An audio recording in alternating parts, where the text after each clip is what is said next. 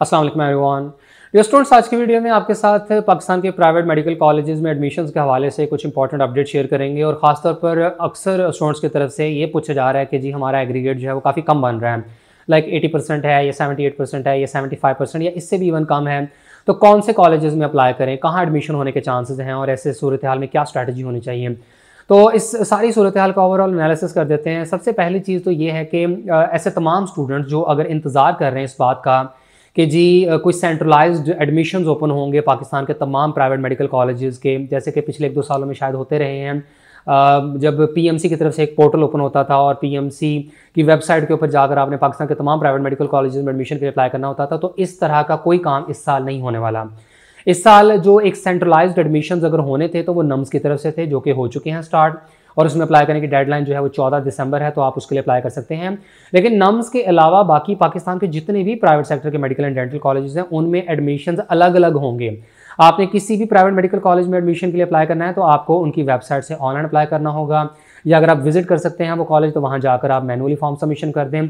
लेकिन आप लोग हरगिज़ मज़ीद इंतज़ार ना करें। काफ़ी सारे स्टूडेंट्स की तरफ़ से मुझे पैगाम मौसू हुए तो वो पूछ रहे थे कि, सर एडमिशन कब ओपन होंगे? तो जो पीएमसी की पॉलिसी है पीएमसी की पॉलिसी के मुताबिक कोई भी जो प्राइवेट सेक्टर का मेडिकल या डेंटल कॉलेज है, वो जुलाई या अगस्त के महीने से अपने एडमिशन ओपन कर सकता है। और ऐसे तमाम स्टूडेंट जिनका पाकिस्तान में कहीं भी सरकारी या प्राइवेट मेडिकल कॉलेजेस में एडमिशन नहीं हो रहा तो आप आउट ऑफ़ कंट्री से एमबीबीएस कर सकते हैं। और पाकिस्तान के अलावा काफ़ी ज़्यादा कंट्रीज़ हैं जहाँ पर एमबीबीएस की ऑप्शन पाकिस्तानी स्टूडेंट्स के पास अवेलेबल होती है। और इनमें से किसी भी कंट्री में अगर आपने एमबीबीएस करना है और इसकी मुकम्मल इन्फॉर्मेशन और गाइडेंस के लिए आप काशिफ राइट से रब्ता करें। काशिफ राइट्स का सबसे बड़ा जो बेनिफिट है वो ये कि बिल्कुल भी इनके अंदर कोई किसी किस्म दो नंबरी फ्रॉड धोखाधही नहीं है जो कि अक्सर जो है वो एम बी बी अब्रॉड का काम करने वालों लोगों के अंदर होती है। मेरा इनके साथ काफ़ी सालों का रिलेशन है और माशाल्लाह बहुत ज़बरदस्त काम कर रहे हैं एक्सपीरियंस भी हैं। और सबसे बड़ी बात यह कि इनके अंदर किसी किस्म की दो नंबरी और लालच नहीं है। मेरे रेफरेंस के साथ आ, मेरी पूरी गारंटी के साथ आप इनके साथ रब्ता करें। ये आपको एम बी बी की मुकम्मल इन्फॉर्मेशन और गाइडेंस फ्राहम करेंगे। इनके दिए गए कॉन्टैक्ट नंबर पर आप व्हाट्सएप करें। और इस वक्त पाकिस्तान के तमाम प्राइवेट सेक्टर के मेडिकल एंड डेंटल कॉलेजेस में एडमिशन ओपन है और इनकी जो डेडलाइंस हैं, वो तकरीबन दिसंबर के मंथ में ही हैं। और हर एक की डिफरेंट है। ज़्यादातर जो के पी के प्राइवेट मेडिकल कॉलेजेस हैं, उनमें एमबीबीएस की जो डेडलाइन है, वो चौबीस दिसंबर है, जबकि बीडीएस की डेडलाइन दस जनवरी है। पंजाब के मोस्टली जो कॉलेजेस हैं, उन्होंने अपनी डेडलाइंस अनाउंस तो नहीं की हैं, लेकिन कुछ की 20 दिसंबर है, कुछ की इकतीस दिसंबर वगैरह है। और इसी तरीके से जो सिंध वगैरह में भी इसी किस्म की सूरत हाल है कि मुख्तलिफ़ डेडलाइंस हैं, मुख्तलिफ़ मेडिकल कॉलेजेस की। अब इसमें होता ही है कि बाज़ जो प्राइवेट मेडिकल कॉलेजेस हैं, वो अपनी डेडलाइंस जो है, वो अनाउंस नहीं करते हैं या डेडलाइंस बार बार एक्सटेंड करते रहते हैं, क्योंकि उनकी कोशिश ये होती है कि ज़्यादा से ज़्यादा स्टूडेंट जो है, वो अप्लाई करें। अब जितने ज़्यादा स्टूडेंट्स अप्लाई करेंगे, उन्हें उस मेडिकल कॉलेज का प्रोस्पेक्टस परचेज करना पड़ेगा। इसके अलावा उन्हें जो है वो एडमिशन प्रोसेसिंग फ़ी वगैरह जमा करवानी पड़ेगी। तो जितना ज़्यादा नंबर ऑफ़ स्टूडेंट जो है वो अप्लाई करेंगे, उतनी ही उनके पास जो है वो फ़ीस इकट्ठी होती है। फिर ये कि इस वक्त की जो सिचुएशन ये है कि मेडिकल कॉलेजेस में तमाम एडमिशन ओपन हैं। बाकी इनके क्लोजिंग मेरिट्स जो लास्ट ईयर के थे, उनके ऊपर मैंने अलग से फुल फ्लैज वीडियो बनाई हुई है। ये आप देख लें, इससे आपको काफ़ी फ़ायदा होगा। इस साल का जो फ़ी स्ट्रक्चर है उसके ऊपर भी, भी मैंने अलग जो है वो वीडियो बनाई थी और उसमें पाकिस्तान के तमाम private medical and dental colleges का इस साल का रिवाइज फ़ी स्ट्रक्चर अनाउंस किया था।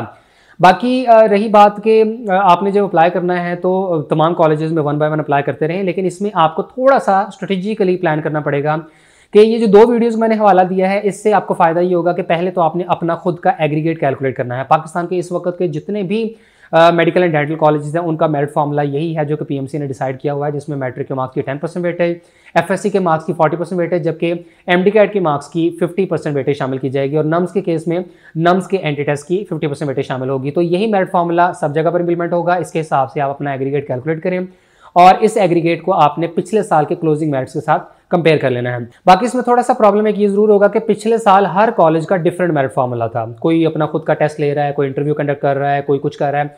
लेकिन इस साल मेरिट फॉर्मूला इंटायरली चेंज हो चुका हुआ है। तमाम के तमाम कॉलेजेस को पाबंद कर दिया गया है कि वो टेन फोर्टी फिफ्टी वाला फार्मूला ही लगाएँगे। तो पिछले साल के मेरिट फार्मूला और इस साल के मेरिट फार्मूला में चेंज होने से जो पिछले साल का क्लोजिंग मेरिट है मुख्तलिफ़ कॉलेजेस का, वो एज इट इज़ इस साल के मेरिट के साथ आप कंपेयर कर कर नहीं सकते। उसमें ज़ाहिर फ़र्क आएगा। लेकिन किसी हद तक एक जनरल आइडिया लेने के लिए इसका आपको बहुत ज़्यादा फ़ायदा हो, ज़रूर सकता है। बाकी इसमें अब आपने करना यह है कि अगर आपका एग्रीगेट अच्छा है और आप लाइक 85 परसेंट या से ज़्यादा एग्रीगेट रख रहे हैं साल तो ऐसे केस में आपको जो अच्छे और बड़े लेवल के मेडिकल एंड डेंटल कॉलेजेस हैं, उनमें एडमिशन के लिए अप्लाई करना चाहिए। यानी नम्स के जितने भी प्राइवेट मेडिकल कॉलेजेस हैं, उनको आप प्रेफर करें। इसके अलावा जो नम्स के अलावा दूसरे एम डी कैट के बेस पर एडमिशन करने वाले कॉलेजेस हैं तो उनमें भी काफ़ी ऐसे कॉलेजेस हैं जो अच्छे लेवल के हैं, बड़े मेरी कॉलेजेस हैं जिनका बड़ा ज़बरदस्त फीडबैक होता है तो इन कॉलेजेस में आप प्रेफर करें? तो पाकिस्तान के टॉप के मेडिकल कॉलेजेस की बात करें तो C M H Multan institute of medical sciences है, इसके अलावा सी एम एच बहावलपुर है C Lahore C M H Kharian, इसके अलावा foundation university medical college Islamabad, Wah medical college Quetta institute of medical sciences Fazaia medical college hi tech institute इसके अलावा बाकी भी जो नम्स के पैनल में आने वाले कॉलेजेस हैं। और नम्स के अलावा बाकी कॉलेजेस की बात करें तो लाहौर में Akhtar Saeed medical and dental college Avicenna medical college F M H college of medicine and dentistry Lahore medical and dental college Rashid Latif medical college, Shalamar medical and dental college, Sharif medical and dental college और university college of medicine and dentistry. Faisalabad में Aziz Fatima medical and dental college और female candidates university medical and dental college को prefer कर सकते हैं। इस्लामाबाद में Shifa college of medicine, Islamabad medical and dental college और मुल्तान में Bakhtawar Amin medical and dental college और Multan medical and dental college. इसी तरह सिंध के students Aga Khan medical college को प्रेफर कर सकते हैं। लियाकत नेशनल मेडिकल कॉलेज है, जियाउद्दीन मेडिकल कॉलेज बहुत ज़बरदस्त है। और इसके अलावा बकाई मेडिकल कॉलेज के में भी दस से ज़्यादा प्राइवेट सेक्टर के मेडिकल कॉलेजेस हैं और आज़ाद जम्मू कश्मीर में तो एक ही प्राइवेट सेक्टर का मेडिकल कॉलेज है, वो है मोहीउद्दीन इस्लामिक मेडिकल कॉलेज और बलोचिस्तान में भी सिर्फ़ सी एम एच कोयटा यानी कोयटा इंस्टीट्यूट मेडिकल साइंसेज की ही ऑप्शन है। और इसके बाद अगर ऐसे मेडिकल कॉलेजेस की बात करें, जहाँ पर उन स्टूडेंट्स को अप्लाई करना चाहिए जिनका एग्रीगेट कम है तो उनमें अगर हम सबसे पहले लाहौर की बात करें तो Abu Umara medical and dental college Lahore है, इसके अलावा continental medical college central park medical college Amna Inayat medical college Azra Naheed medical college और Pak red crescent medical and dental college जो कि डिस्ट्रिक्ट कसूर में बनता है तो इन कॉलेजेस में अप्लाई करना चाहिए। इसके अलावा ऐसे तमाम स्टूडेंट जिनका रिलेटिवली एग्रीगेट कम बन रहा है तो उन्हें चाहिए कि अगर वो बड़े शहरों में भी अप्लाई करते हैं तो ऐसे कॉलेजेस में अप्लाई करें जिनके पिछले साल के मेरिट्स ज़रा कम थे। या ऐसे कॉलेजेस जिनमें स्टूडेंट्स को बहुत ज़्यादा अप्लाई नहीं करते हैं। या अगर आप बड़े शहरों से निकलकर निस्बतन छोटे शहरों में मूव करते हैं तो ऐसे केस में भी आपकी सिलेक्शन के चांसेस बन जाते हैं। काफ़ी पंजाब के छोटे छोटे शहर हैं ऐसे जहाँ पर मेडिकल कॉलेजेस ओपन हुए हैं। तो अगर आप इनमें अप्लाई करते हैं तो आपके सिलेक्शन के चांसेस बढ़ जाते हैं। इवन आप देखें कि लोधरा में भी मेडिकल कॉलेज है ना, नारोवाल के अंदर कॉलेज है। तो इस तरह Bahawalpur medical and dental college जो कि बहावलपुर में है इसमें अप्लाई किया जा सकता है। वतीम मेडिकल कॉलेज रावलपिंडी इसके अलावा फैसलाबाद के कॉलेज की बात करें तो इंडिपेंडेंट मेडिकल कॉलेज और अबवा मेडिकल कॉलेज का मेरिट इस साल काफ़ी कम रहने के चांसेस हैं। इसके बाद शाहिदा इस्लाम मेडिकल कॉलेज लोधरा और सियालकोट के कॉलेजेस की बात करें तो सियालकोट मेडिकल कॉलेज और इस्लाम मेडिकल कॉलेज सियालकोट, इस्लामाबाद में अल नफीस मेडिकल कॉलेज, सरगोदा में Niazi medical and dental college और राय मेडिकल कॉलेज, गुजरावाला में M Islam medical and dental college, जबकि नारोवाल में सहारा मेडिकल कॉलेज में एडमिशन के लिए अप्लाई किया जा सकता है। और Sahara medical college, Abwa medical college, Islam medical college वगैरह और जो Pak red crescent medical and dental college हैं तो ये कुछ ऐसे मेडिकल कॉलेज हैं जिनके पिछले साल के मेरिट जो है वो सबसे कम थे। यानी सेवेंटी परसेंट के रेंज में इनके मेरिट्स क्लोज हुए थे तो इस साल भी चांसेस हैं कि इनके मेरिट्स बहुत ज़्यादा नहीं रहेंगे। और पंजाब के कॉलेजेस के अलावा अगर देखा जाए तो के और सिंध में भी काफ़ी ज़्यादा तादाद में मेडिकल कॉलेजेस अवेलेबल हैं जिनमें अप्लाई किया जा सकता है। ज़ाहिर है डोमिसाइल की कोई रिस्ट्रिक्शन नहीं है। वहाँ के स्टूडेंट्स भी एडमिशन के लिए अप्लाई कर सकते हैं और दूसरे सूबों के स्टूडेंट्स भी डिफरेंट प्रोविंसेस में जाकर अप्लाई कर सकते हैं। तो अगर आपका लेट सपोज़ पंजाब में एडमिशन नहीं बन रहा या आपको लग रहा है कि मेरिट बनने के चांसेस नहीं है तो आप दूसरे सूबों के कॉलेजेस को ट्राई कर सकते हैं। जैसे कि के पी के में तकरीबन 11-12 के करीब प्राइवेट मेडिकल कॉलेजेस हैं, इनमें अप्लाई किया जा सकता है। और ख़ासतौर पर अगर ऐसे कॉलेज जो कि पिशावर से हटकर दूसरे शहरों में हैं, जैसे सवात मेडिकल कॉलेज है, वहाँ पर एडमिशन के अप्लाई किया जा सकता है। इसके अलावा अगर आपको किसी और नस्बता छोटे शहर में कोई मेडिकल कॉलेज मिलता है, वहाँ अप्लाई हो सकता है। और सिंध के कॉलेज में तो जैसे कि आपको पता है कि MBBS में तो चले इतना ज़्यादा नहीं, लेकिन BDS के केस में तो काफ़ी ज़्यादा उनकी नंबर ऑफ़ सीट जो है वो खाली रह जाती हैं। तो अगर किसी स्टूडेंट का मेरिट ना बन रहा और वो सिंध में चला जाए और वहाँ के प्राइवेट सेक्टर के मेडिकल एंड डेंटल कॉलेज में एडमिशन के लिए अप्लाई कर लें तो एडमिशन होने के काफ़ी ज़्यादा चांसेस हैं। तो सिंध में जैसे अलतिबरी मेडिकल कॉलेज कराची है इसरा यूनिवर्सिटी हैदराबाद, हमदर्द यूनिवर्सिटी का जो मेडिकल कॉलेज है कराची में Indus medical college Tando Mohammad Khan Liaquat college of medicine and dentistry Mohammad medical college Mirpur Khas sir Syed college of medical sciences for girls Karachi Suleman Roshan medical college Tando Adam तो ये इस तरह के colleges हैं जिनमें नस्बतन थोड़े merit के साथ भी एडमिशन होने के चांसेस हैं। बाकी अब इसमें डिपेंड करता है कि आप एडमिशन लेने की खातर मतलब किस हद तक जाते हैं? क्या आप अपना शहर छोड़ सकते हैं, किसी दूसरे शहर में जा सकते हैं, निस्बतन छोटे शहर में मूव कर सकते हैं, क्या आउट ऑफ़ प्रोविंस जा सकते हैं? फिर इसमें एक और बहुत बड़ी एक अपॉर्चुनिटी ये भी होती है, जिसको बहुत कम स्टूडेंट्स कंसिडर करते हैं, कि अगर आपने प्राइवेट सेक्टर में जाना है तो अगर आपका मेरिट नहीं बन रहा तो आप बीडीएस को कंसिडर कर लें। बी डी एस ज़ाहिर है, आपकी पाँच साल की डिग्री नहीं है चार साल की है, इसमें आपको फ़ीस स्ट्रक्चर में भी रिलैक्सेशन मिल जाती है, इसमें बहुत थोड़े मेरिट के साथ भी आपका एडमिशन हो सकता है और अच्छे कॉलेज में हो सकता है। तो अगर आप बी डी एस को कंसिडर कर लेते हैं और अगर आपका प्राइवेट एमबीबीएस में दाखिला नहीं हो रहा बीडीएस में आप एडमिशन के अप्लाई करते हैं तो ऐसे केस में आपका एक तो थोड़े पैसों में डिग्री भी कंप्लीट हो जाएगी।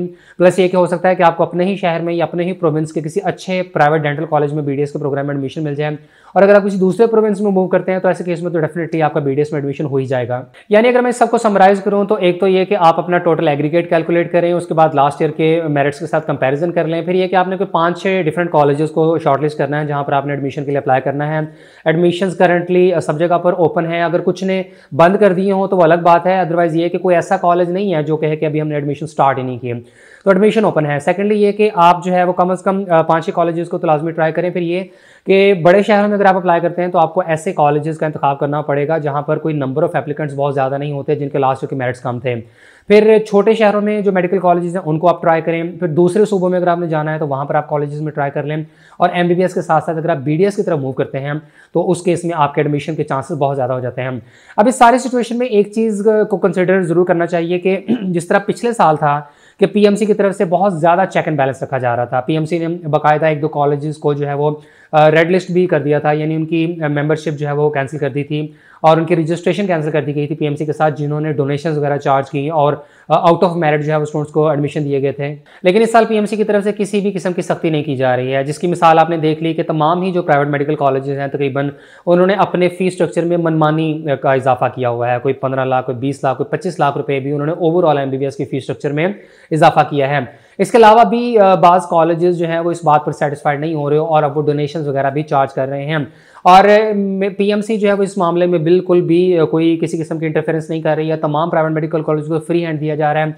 और पिछले साल तो बड़ा ढके छुपे अल्फाज में जो है वो डोनेशन वगैरह डिमांड की जा रही थी, लेकिन इस साल खुल्लम खुला जो है वो सोन से डोनेशन डिमांड की जा रही है। और कुछ कॉलेज की तरफ़ से पता ही चल रहा है कि उन्होंने अपने एडमिशन क्लोज भी कर दिए हुए हैं। और उसकी रीज़न ये है कि उनकी ऑलरेडी सेटलमेंट हो चुकी हुई है। जिन जिन स्टूडेंट्स को उन्होंने एडमिशन देने हैं, उनके साथ जो है वो डोनेशन वगैरह और बाकी मामला तय पा चुके हैं। और अब उन्होंने अपने मजीद जो है वो स्टूडेंट्स को जो है वो अप्लाई करने की परमिशन जो है वो ख़त्म कर दी हुई है और ऑनलाइन रजिस्ट्रेशन क्लोज कर दी गई है। तो अब ये सारी सिचुएशन आपके सामने है। अब पीएमसी को डेफिनेटली चाहिए तो था कि जिस तरह पिछले साल जो है वो सख्ती रखी गई थी कि आप जिस तरह अब इस साल प्राइवेट मेडिकल कॉलेजेस ने अपना मर्ज़ी का फ़ीस स्ट्रक्चर चार्ज कर रहे हैं तो फिर फ़ीस स्ट्रक्चर के ऊपर इतफा करें ना, फिर डोनेशन वगैरह क्यों चार्ज कर रहे हैं इससे ऐसे तमाम स्टूडेंट्स की हक तलफी हो रही है जो कि मेरिट पर पूरा उतर सकते हैं, लेकिन उनको ज़ाहिर है ये डोनेशंस देने वाले जो बच्चे हैं, फिर ये एडमिशन सिक्योर कर लेंगे और मेरिट पर आने वाले बच्चे जो है वो एडमिशन से महरूम रह जाएँगे। बहरहाल पीएमसी को चाहिए कि थोड़ा सा वो एक्टिव हों और इमरजेंसी बेसिस पर कुछ ऐसे इकदाम करें, जैसे कि अब ये मामला फंसे हुए हैं एमडी कैट को लेकर भी मेरिट फार्मूला का भी कन्फ्यूज़न चल रहा है। और सबसे बढ़कर ये कि प्राइवेट मेडिकल कॉलेजेस ने जो इस साल इतना ज़्यादा अपना फ़ीस स्ट्रक्चर में इजाफा कर लिया हुआ है और ऊपर से सोने पे सुहागा ये जो डोनेशन वगैरह के थ्रू एडमिशन किए जा रहे हैं और पीएमसी की तरफ़ से किसी किस्म का कोई चेक एंड बैलेंस नहीं है तो डेफिनेटली पीएमसी को यहाँ अपना रोल प्ले करना होगा।